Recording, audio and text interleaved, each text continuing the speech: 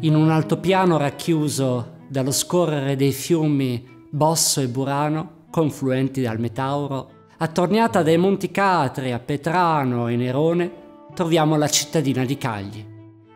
Cagli ha un'origine antica, come testimoniato da numerosi ritrovamenti di reperti databili a partire dal IV secolo a.C. Dobbiamo l'attuale abitato di Cagli alla rifondazione della città nel 1289 una rifondazione voluta da Papa Niccolò IV che, tra l'altro, tentò di cambiare il suo nome in Sant'Angelo Papale. La costruzione della nuova cale, resasi necessaria a seguito della distruzione, ad opera dei ghibellini, dell'abitato altomedievale che trovava posto sulle propagini del Monte Petrano, è stata attribuita dal punto di vista del progetto urbanistico ad Arnolfo di Cambio, uno tra i più grandi scultori, architetti e urbanisti operanti tra 200 e 300. Uno straordinario progetto urbanistico, caratterizzato da ampie vie che si uniscono in maniera ortogonale e che rendono Cagli una città ordinata, oseremmo dire ideale. Cagli conserva svariati edifici. Tra le belle chiese si ricorda quella di San Domenico, che ospita la famosa Cappella Tiranni affrescata da Giovanni Santi, padre di Raffaello, il bel palazzo comunale che fu residenza del duca Federico da Montefeltro, l'imponente palazzo Berardi Mocchi Zamperoli, il Torione, unica parte superstite della rocca fatta costruire da Federico da Montefeltro su progetto di Francesco e di Giorgio Martini. Poco distante dal Torione, nella piazza dedicata a Papa Niccolò IV, troviamo il Teatro Comunale di Cagli. La cittadina, già provvista di un precedente teatro, l'antico Teatro delle Muse, inaugurato nel 1754, fu arricchito da questo importante luogo di cultura nell'Ottocento. La facciata, che assomiglia a quella di un palazzo signorile, è caratterizzata da portali e incorniciature delle finestre in pietra scolpita a bugnato i lavori al Comunale di Cagli iniziarono nel 1871, riadattando il preesistente Palazzo Benedetti, su progetto di due architetti perugini, Giovanni Santini e Coriolano Monti. Varcata la porta d'ingresso, ci ritroviamo nell'elegante foyer, con la sua volta a crociera dipinta con decorazioni dei colori cangianti e sorretta da quattro colonne in finto marmo.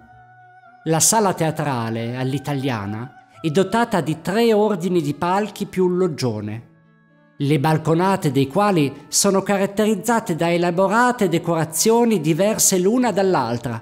Al secondo ordine della balconata troviamo le effigi degli uomini illustri di Cagli.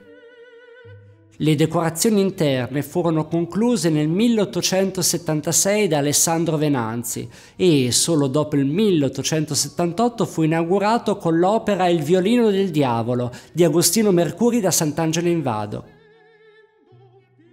La scenografia di quest'opera fu realizzata da Girolamo Magnani, il preferito di Giuseppe Verdi.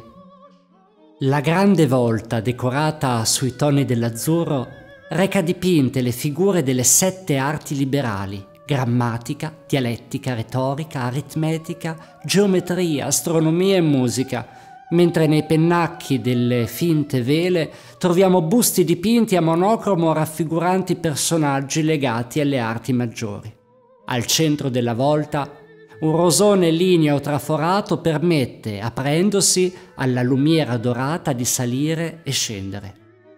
Il boccascena, ornato all'apice da un orologio, incornicia il superbo sipario, opera del pittore umbro Alessandro Venanzi, raffigurante l'accampamento dell'imperatore Federico Barbarossa, che prese d'assedio la città di Cagli nel 1162 e in particolar modo raffigura l'episodio della nomina di Ludovico Baglioni a vicario imperiale della città di Perugia.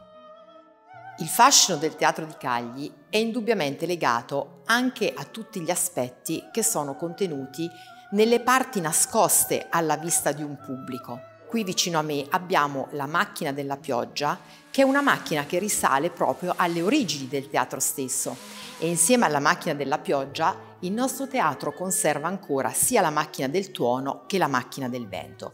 Non sono soltanto questi i tesori che il nostro teatro nasconde, perché abbiamo esattamente tutta una serie di originali bozzetti e disegni che risalgono proprio alla progettazione del teatro stesso e quindi parliamo della seconda metà degli anni 50 dell'Ottocento.